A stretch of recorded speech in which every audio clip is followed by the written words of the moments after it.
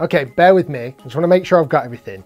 Six layer super light carbon crown, speed injection twist face, machine milled back of club face, through slot speed pocket, TPS front weight, high strength carbon sole, aerodynamic asymmetrical sole design, MOI enhancing back weight and an all new forged aluminium back ring.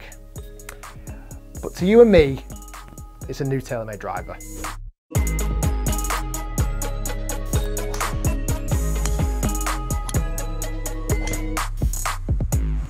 So as you could see from that top line, there's lots of technology in these new drivers. This is the new Sim 2 lineup. There's three new drivers. There's a Sim 2, a Sim 2 Max, and a Sim 2 D-Type. I mainly focus on the Sim 2 and the Sim 2 Max. So what I want to do, I want to take it to the driving range, out on the golf course, and also here in the home simulator on GC Quad.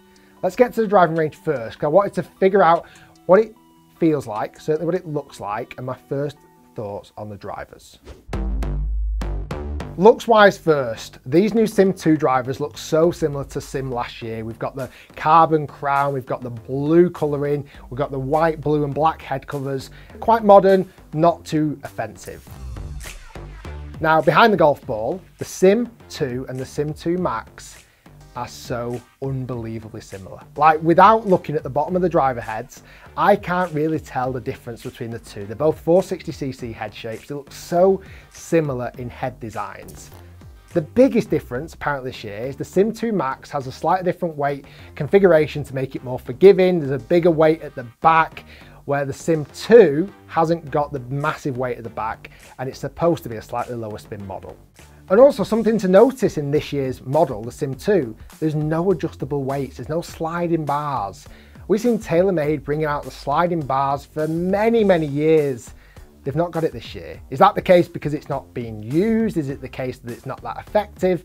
Either way, there is no sliding options adjustability in these new Sim 2 drivers.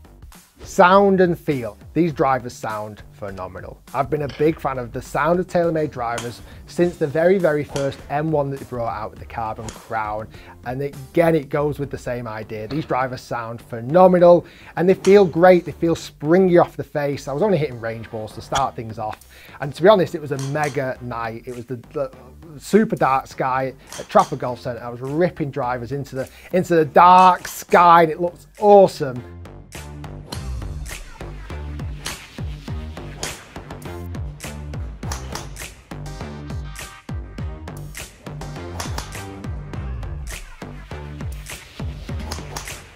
So that was my initial hits done with the Sim 2 and the Sim 2 Max. First impressions, I couldn't tell the difference whatsoever. Not only looks, but also performance and feel.